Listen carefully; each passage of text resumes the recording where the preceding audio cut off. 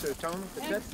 He's, uh, here. Communities in the eastern part of South Sudan have a long history of attacking each other to steal livestock, which are in turn used for marriage and prestige. The latest attack left 50 people dead and more than 50 people are still missing.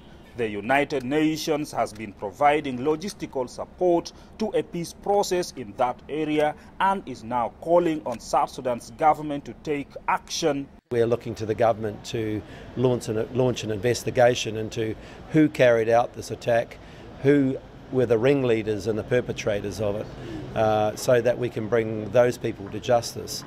Uh, and in that way, try and uh, stop the revenge cycle of, of killing and raiding that's happened in, those, in that area. But guns are everywhere here. The government has little control in the area due to the ongoing war. Uh, investigation will uh, take place in the government and it will be discussed at the level of the Council of Ministers and the Security Committee of South Sudan. Uh, and also is that uh, we should not lose focus. Uh, we keep our people uh, hoping that uh, peace also can still be achieved.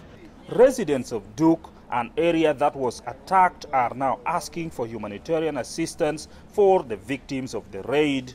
You know, we have relatives, you know, and families who are displaced. They have their houses burned down, cows taken, you know, the kids raided, you know, and so we are looking for intervention from the government if there a way if there, if there is a way they can bring some shelter you know to the ground you know some food obviously you know to to, to the weak the wounded and the young ones. Prolonged years of civil war prior to South Sudan's independence in 2011 and the ongoing war, which began in 2013, made many here acquire guns.